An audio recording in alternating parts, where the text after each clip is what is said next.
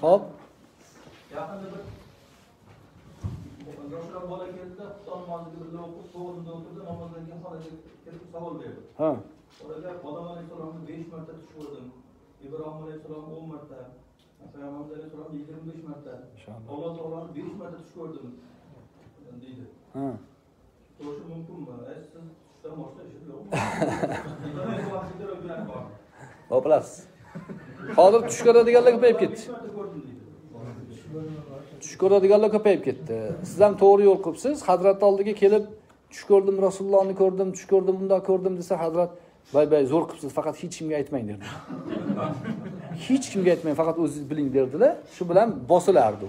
Odamlar ko'rgan tushi bilan o'zini fazilatli deb o'ylayveradi. Ha sodiq tush haqida gap yo'q hadislar bor. Lekin tush asosiga hukm qurilmaydida. U bashorat u. O'zi uchun hech kimga aytmasin o'zi bilsin. Inshaalloh yaxshilikka. Buni tavillari bor ibn sirin.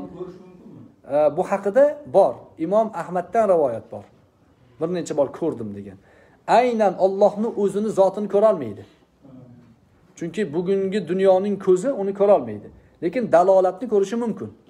Mana qur'oni karimni o'qiyapmiz qur'oni karim ollohni nimasi? Kalomi. Ollohni kalomining dalolati u.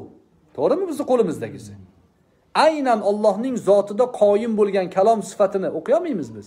Banda unga kuchi yetmaydi. Eshitolmaymiz ham uni hozir eshitib o'qib turganlarimiz hammasi dalolat u. Mushaf qog'ozdan iborat harflar raqamlar talaffuzdan iborat. Bu mahrajlar bizdan chiqayotgan narsalar bularni hammasi maxluq. Xuddi shuni singari tushda ko'rdim desa dalolatni ko'rishi mumkin. Deydi. Umumiy xulosa shu. Dalolat deysiz. Yaxshi ko'ribsan deysiz lekin haligi aytgandek ha deb tush ko'raverma uyg'onam deng.